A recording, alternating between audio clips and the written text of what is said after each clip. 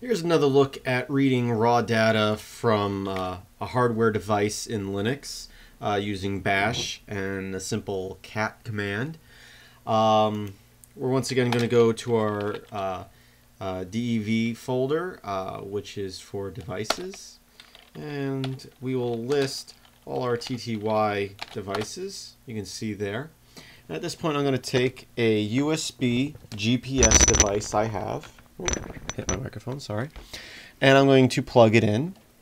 And as soon as I plug it in, if I ls again like that, you'll see that we have a new device right here. That would be the GPS device. At this point, we can cat out that device. And um, don't have to be root for this. There's no security issues uh, grabbing information from a GPS unit. Uh, suppose someone could be tracking you. But besides that, you don't want every time to open up a GPS uh, application uh, for you to have to be admin. So that's why you have you're going to access it without that. And you'll see that this isn't sending just binary information. It's actually sending useful, readable information. And if you actually uh, can look up uh, information on this, you'll see that basically uh, it's giving latitude and longitude coordinates. It's also giving other information on, on direction of travel and whatnot. Uh, you'll see that on my screen right now you have a lot of zeros.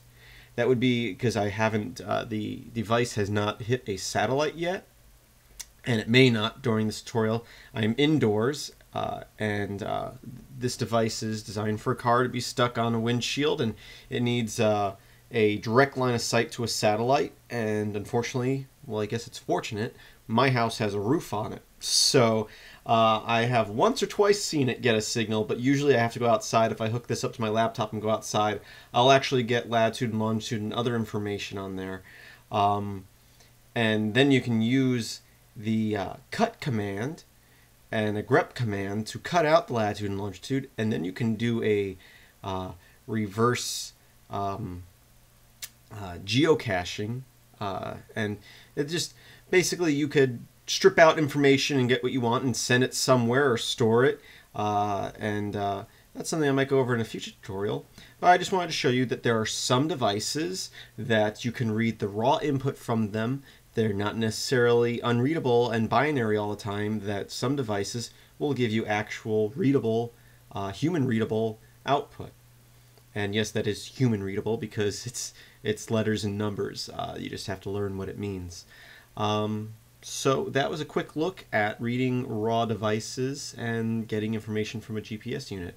Now, just like any other uh, file, basically in Linux, uh, uh, I didn't mention this in the last tutorial, but basically hardware devices, anything plugged into your computer, whether it be, you know, RAM or CD-ROM drive, whatever, in Linux, in Unix, in a Unix-based system, they are shown up as files, which you can read and write to as long as you have permission, just like you can any other file.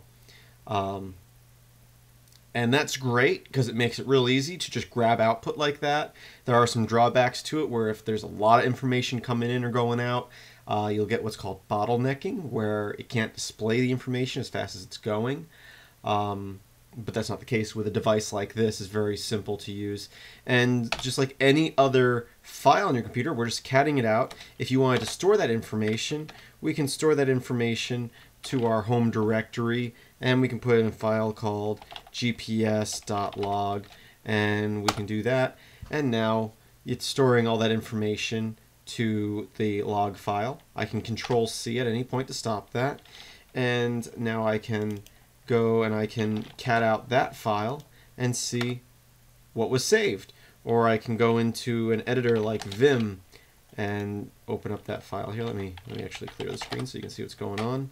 I'm gonna type in Vim, which is like VI. Well, don't start a fight over that. It's it's it's a text editor such as VI or Nano or or any other text editor. I'm not saying that VM or VI or Vi or however you say it, Vim is a the same application or one that one is better than others. So, oh, I don't even have Vim installed right now. We'll, we'll VI it. There we go. So now we can go through and scroll through and see the different bits of information that we have stored to a file. I can uh, quit out of that file. Um, what else could we do with this? Basically anything you can do with a file. If we uh, go back to our command here, where we uh, piped it into, we can actually uh, put it through the tee command, which we are now still getting the output of the information on the screen, but it is also, and actually it looks like I finally hit a satellite. You can see I'm getting coordinates there instead of a bunch of zeros. Um, I can stop that, and I can once again cat out that file that we saved to, and you can see it still stored all that information. You can see what it was getting when it was hitting the satellite here. Uh, it's changing the LED flash rate. There is an LED on the uh, GPS unit itself, and at that point, it's giving you information that it's changed the way the, the LED is flashing, uh, timing, maybe color. Um, but you see, using the tee command, which I've shown you in the past, allows you to view the output on the screen and save it to a file. And I'm happy that we hit a satellite there. Um, that means in the next tutorial, I can show you a little more of uh, stripping away that uh, information and uh, getting some use out of it. So that was a quick look at grabbing raw data from a USB GPS device. Hope you found this useful. Please feel to comment and rate this video and visit bashscripts.info or filmsbychris.com uh, anytime to visit, see more videos and tutorials like this. Have a great day.